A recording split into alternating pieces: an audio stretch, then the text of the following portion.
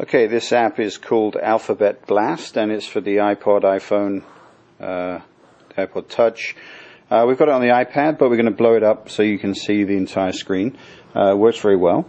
Uh, the idea of this is to fill in the blanks, so it, it, helps you to learn your alphabet, and I'll show you that when we open it up. Uh, very simple game, but very effective at what it has to teach. Let's go ahead and just click Start.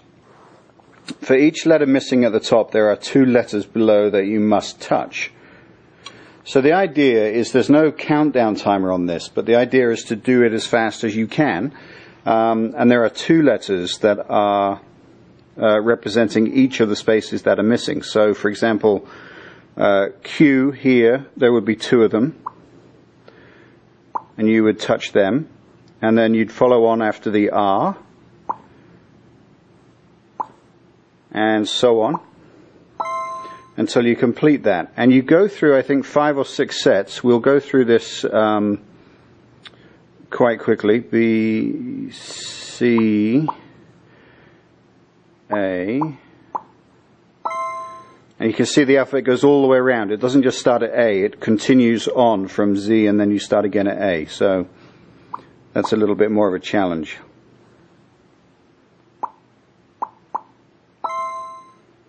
And we'll see, we'll just go through this.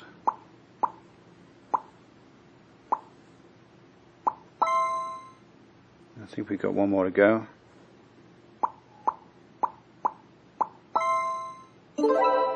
Okay, so you see that was the end of the game.